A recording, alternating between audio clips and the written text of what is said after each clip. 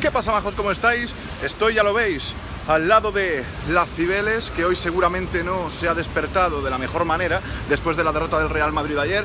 Y he quedado con una persona que seguramente muchos conocéis, al menos por Twitter, y es Alex Frigenti, o Frigenti, la verdad, Alex, no, no, no sé cómo se pronuncia, ahora me lo dirás. Y nada, eso, vamos a hablar un poco de fútbol, del Barça, de la actualidad, en nuestro tono, así que voy a su búsqueda, va. ¿Qué me he encontrado? ¿Cómo te llamas? Mario, mi nombre es Mario. Es que me he quedado flipando porque me ha dicho que, que, que ve mis vídeos. Impresionante, Víctor, un crack, un crack, un auténtico crack. En Madrid, que sepáis, los culés no estamos escondidos. Salir a la calle, poneros la camiseta del Barça, siempre. Y yo no la llevo, pero porque he quedado con la chica tal. Frigenti o Frigenti, que no. Frigenti, Frigenti. Estamos haciendo el café aquí en Malasaña, en Madrid. Eh, ¿Qué pasa, a ver, con el Barça? Porque nos ha llevado, ostras, muchas sorpresas, ¿no? Sí, la verdad es que hace tres semanas, ¿no? Tres, cuatro semanas yo no, no me imaginaba que el Barça pudiese estar a, a siete puntos del Madrid. Es que son siete. ¿eh? Sí, sí, son siete, son siete. Efectivamente, son siete. sí. no, pero bien, oye, una sorpresa, pero también hay que decir que jornada 5, ¿eh? Porque el año pasado hasta... Sí, entiendo, entiendo. Es, Sí. que, es que mucha gente dice jornada 5, ¿vale? Pero Vale. ostras, Y yo estoy contento y estoy muy alegre de, de- de que el Barça esté teniendo este, este ritmo y el Madrid ese ritmo tan, eh, tan ridículo. Pero más allá de eso, la, la temporada pasada, por ejemplo, jornada 5, jornada 6, jornada 7, el, el Madrid empata los tres partidos. El Madrid acaba Hmm. eso lo dijo. Arbeloa hace poco. Muy bien, pues un saludo, Arbeloa. gran, gran tuitero. Pero aparte de eso, eh, creo que no es ninguna locura pedir calma en la jornada 5 y disfrutarlo, por supuesto disfrutarlo, pero Yo siempre digo, hay que tener los pies en el suelo porque es lo que dices tú, es muy pronto, pero por ejemplo, tú has puesto el ejemplo del Real Madrid, yo pongo el ejemplo del Alavés. Al final son tres puntos que el año pasado, por perder contra el Alavés, en el Camp Nou además, palmamos la liga, son tres puntos de distancia. Sí, sí, por supuesto. De hecho, ya jornada 5 y ya ha habido algún partido de ese tipo para el Barça, ¿no? El partido contra el Getafe yo creo que la temporada pasada se hubiese perdido o se hubiese empatado. Eh, bueno, se gana, además me gustó que se ganase sin goles de Messi. ¿Te gustan los goles de Messi o qué? Me encantan, los goles de Messi son golazos, pero que el equipo no necesite recurrir siempre a Messi para sacar tres puntos fuera de casa, en un partido complicado, en un campo que no se le da bien al Barça normalmente. Goles además de Para jugadores... vestirse sí. Volvamos. Em, ¿Dónde estábamos? goles, goles de, de jugadores que a priori no son importantes tampoco como Denis Suárez o, o el, o el mágico Paulinho, ¿no? Que Paulinho nos, nos está sorprendiendo. A ver, Paulinho caro, caro muy caro. ¿no? A mí, a mí me pareció el otro día, y lo comenté en la revista de prensa que hice, un artículo de Luis Mascaró que decía que le habían denigrado, que decían que era muy malo, y ahora se está saliendo. Hombre, tampoco. eh, No, yo creo que nadie dijo que era malo y nadie solo se discutió el precio, que tuviera casi 30 años y que viniera de la Liga De la China, Liga teniendo China, en la cabeza liga- la temporada que hizo el Barça el año pasado y que esperábamos a alguien más joven. ¿Eso qué pasa? ¿Eso es decir que es malo? No. No. O serán pocos los culés que con el fichaje de Paulinho eh, se emocionaron. O, o- Yo creo que no era lo que el Barça necesitaba, sobre todo la sensación que hubo un verano fue de una improvisación constante, donde el plan A no te salía y no solo no te salía, sino que el PSG se llevaba a Neymar, sino que también Sí, sí, es encima que- ibas a por el plan B, tampoco te salía y recurrías al plan C, que a lo mejor venía de China y te cobraban una pasta por ello. Que el jugador rinde, por supuesto que rinde, que y meterá goles, sí, está dentro de sus características, pero yo creo que el Barça pues, eh, pues necesita... Sobre todo de cara a futuro también. Claro, por edad, por liga de la que proviene, Ahora que, lo que decía, si, si está aquí Paulinho, a muerte. a muerte con él supuesto. y más si está demostrando lo que está, lo que está demostrando. Por Deulofeu. Bueno, de lo feo a mí me parece que no, no está aportando, no está aportando demasiado al, al juego del equipo y me parece que, que le va a costar. Vamos a llevarnos bien. Que espero que Deulofeu Pero lo es haga que mejor. evidentemente Deulofeu tiene que tener su tiempo, es que lo que y tiene muchos haters, ¿eh, culés? Sí, tiene sí, muchos sí, haters sí, no lo antes de tiempo y sin verle. No y aguántame un poco tú el móvil porque se me está quedando la mano que parece esto. Esperemos que mejore Deulofeu, por supuesto. Eh, Denis Suárez también un poquito, que a mí me parece que es de los jugadores más esperanzadores en este Barça. De... Denis un crack. Un crack, por supuesto. El otro día me Eh, decía uno que no se llama Denis, que se llama Denis. Y yo decía, que se llama Denis. Bueno, Denis es de chica, ¿no? ¿O qué? Bueno, vamos a ver, a mí esos debates... eh, me parece un poco absurdo, pero vamos. O sea, Coño, es que me no lo sé, dijeron. Denis, pronúnciate, o Denis, pronúnciate, nos comentas tú, nos escribes por privado, nos dices cómo quieres que te llamemos y nosotros te llamamos así sin Tú que problema. hablas con Casillas, seguro que te puede contestar Denis. Un saludo a Casillas, antes le he mandado a, un saludo a Arbeloa, ahora le mando otro a Casillas, íntimos amigos. Un saludo para los dos. ¿De verdad también? No, íntimos amigos entre ellos, Casillas y Arbeloa, son muy amigos. Había una sensación de que parecía que el Barça tenía que prescindir del centro del campo, que creo que es algo que con Valverde se ha recuperado, por eso creo que no es casualidad, por ejemplo, que Rakitic o Iniesta hayan subido un poquito el, el nivel, porque creo que Valverde sí apuesta por que el, ba- el balón circule un poquito más por centro del campo. Y por- había, y había mucha gente que se quejaba.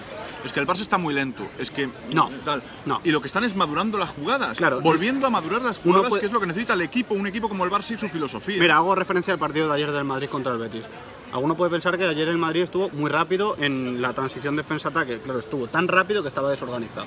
Una cosa es ser rápido con el balón y no abusar de la horizontalidad y otra cosa es madurar las jugadas e intentar conectar en condiciones buenas con jugadores como Messi, Dembélé cuando juegue, Denis Suárez, Deulofeu o Suárez.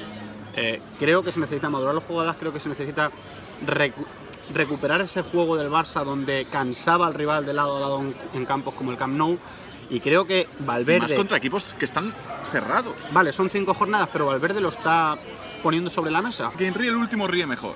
Eso, Bueno, ya, lo- eso ya lo sabemos pues quien- todos. quien que tampoco me, quiera- me- me vengan a mí con refranes españoles. Vamos a ver, quien se quiera, quien se quiera reír el último, pues evidentemente que espera al final de temporada y se meta en una cueva hasta mayo y ya sale y, y disfruta o se sigue en la cueva dependiendo de los resultados. Pero a día de hoy, a día de hoy es evidente que el Barça está sacando resultados, algunas veces con mejor juego, otras con peor juego, pero está sacando resultados y su rival directo, hablo del Madrid porque es el rival directo normalmente en cuanto a títulos, eh, se le están atragantando equipos como el Levante o como el Betis en casa.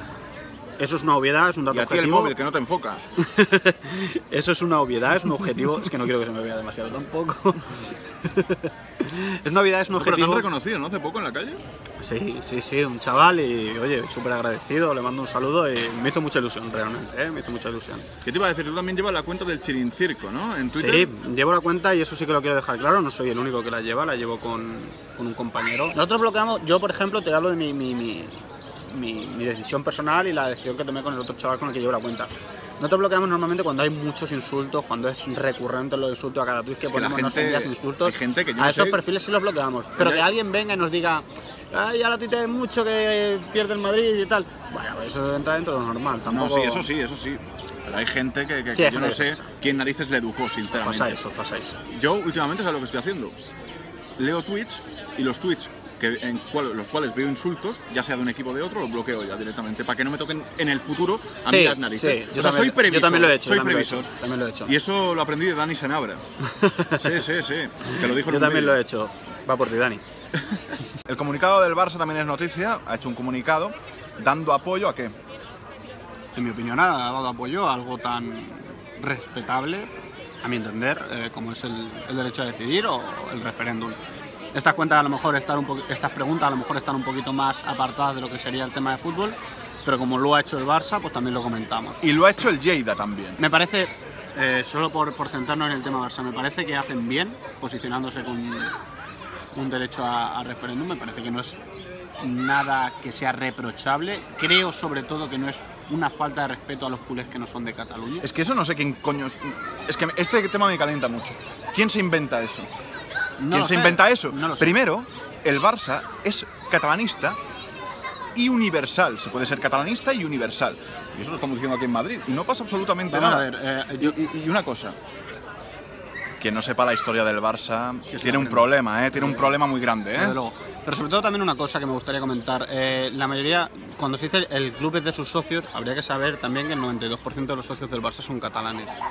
Pero cuando se dice que el- también es de los aficionados, habría que entender también que hay el mayor porcentaje de aficionados del Barça son de fuera de Cataluña y de fuera del España. Español. El Barça es un club universal donde tiene aficionados en todo el mundo. Y que muchos. A ver, es que nos vamos a meter en un follón. Sí, Pero es que muchos entienden más la situación que algunos que viven en este país. Sí, la situación aquí- Algunos de fuera entienden más lo, lo- lo que está sucediendo y que el Barça haga estos comunicados porque se saben la historia. Y, y- y el otro día me Y decía, no hay nada de me decía un, no un tuitero. malo, sobre todo. No, no, me decía un tuitero. Ah, sí, pues explícamela. Explica. Yo te voy a hacer el trabajo sucio. No, no. Léete libros, leche. No, no, no somos profesores prácticos. A mí también me lo hacen mucho, eh, ya no solo en la cuenta del Chile Circo, también en mi cuenta personal. Eh, no, no, no somos el profesor particular de nadie, que cada uno tiene, cada uno tiene acceso a internet y puede que- buscar la información que quiera. Pero por no apartarnos un poquito del tema, la pregunta que tú me hacías, mi opinión, es que el Barça actúa correctamente posicionándose del lado de el derecho a decidir. Y ya- y ya no- Entendiendo y- y espera un momento, ya no es una cosa, como me dijo también otro tuitero, de política. Se trata de derechos civiles. Evidentemente. Por eso a mí me gustaría hacer un, un- inciso en que posicionarse con el, con el derecho a decidir también implica poder posicionarse con el derecho a decidir que no. Hay que matizar y hay que dejar claro que el Barça hasta a día de hoy, a día de hoy, solo Jamás- se ha posicionado con el derecho a decidir. Derecho a y decidir Piqué que sí también. y derecho a, y Y Piqué Piqué también. también, que le están llamando independentista cuando él lo único que ha hecho es estar a favor de la democracia. Ya Por está, supuesto. Ya está. Bueno, nada. majos, ¿eh? Sí, vale. Ya- ya- me interrumpe, tío. dime, dime. Bueno, a ver, eh, la conclusión final es que, mm, en mi opinión, eh, uno de los gestores de la cuenta del Chiringuito, eh, yo hago un- una llamada a que nadie vea el chiringuito. Es mi opinión, es mi opinión. Sé que Víctor aquí hay- a, aquí lo mejor no está de acuerdo. No, no, yo no me lo veo, ¿eh? hace tiempo, pero ni, ni Deportes 4, nada, no veo nada de tele, porque primero que no tengo tiempo y segundo que no me apetece. Pues mira, Veo YouTube sobre todo, no veo tele. pues podéis ver YouTube o... Pero aquí en este canal ya sabéis que siempre hay libertad para todo y decir lo que cada uno piensa, como si uno quiere decir que no, que no hay que leer el sport Además, o, sea, o el creo mundo que deportivo. Víctor entrevistó a Cristóbal Soria, ¿no? Que imagino que es una persona que anima a ver el chiringuito. Yo lo digo claramente, yo no veo el ¿Tú chiringuito. lo conoces a Cristóbal Soria? Le conozco en persona, es- evidentemente. Es que una cosa no quita la otra, al final cada uno tiene su opinión. No, no, y, Cristóbal Soria sabe mi y hay que ¿eh? diferenciar entre empresas y personas, siempre, siempre. Por supuesto. Siempre. Por supuesto. Por eso te digo, pero mi opinión. Cristóbal Soria también sabe mi opinión. Un abrazo, saludo, eh, por eso. Sí, sí, sí. Un saludo. Eh, mi opinión es esta, creo que programas con chiringuito no deben verse. ¿Y cuáles más te, te desagradan? Pues mira, yo, sobre todo programas como, bueno, Deportes 4, agradezco al horario que tengo en el trabajo, que llego tarde para verlo. Bueno, majos, pues hasta aquí el vídeo de hoy desde Malasaña, desde Madrid.